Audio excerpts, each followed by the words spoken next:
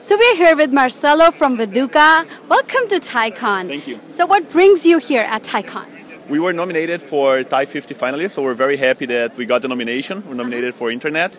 So I think what brings us here is first the chance to, to present our company, but also the ability to interact with entrepreneurs from different parts of the world, to learn from what they're doing, and really bring it back uh, to boost our company.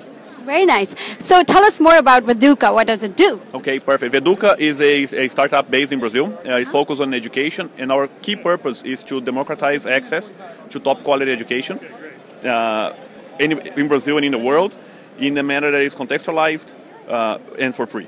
So we started our website uh, about a year ago. We got tremendous traction from the media because we were the first in Brazil to take this concept of the free video lessons from the best universities in the world in Portuguese. Only 2% of Brazilians actually speak Portuguese. So it's actually very important to have the subtitles. We started with that, we got tremendous traction from the media, we got tremendous traction from users. We have close to a million unique visitors in the uh, year that we're on the air. We have 40,000 uh, users enrolled in our, web, uh, our, our site and participating, helping, uh, helping us understand better the users.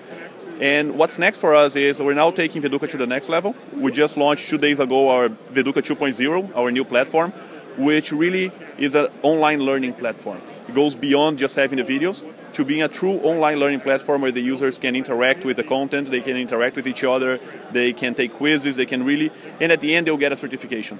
And, that's where we're taking Veduca. We're closing partnerships with different institutions in Brazil to certify students, uh, both with certificates that are valid by the government and also certificates that are issued by the course providers. So it's a tremendous opportunity there. So would you uh, are you planning to expand to other countries and what countries are you planning to expand? No, great question. Uh, the opportunity that we're addressing in Brazil is true for Brazil. The, the education problem is true in Brazil. It's true elsewhere in the world. So our, our primary goal is to establish ourselves in Brazil, but quickly expand first to Spanish-speaking countries, and, and then to the world. So here at TiECon, what do you plan to take away? I think uh, the biggest takeaway for me is the bias for action, and, and really start small and then expand. But make sure that you start. Well, thank you and all the best. Thank you.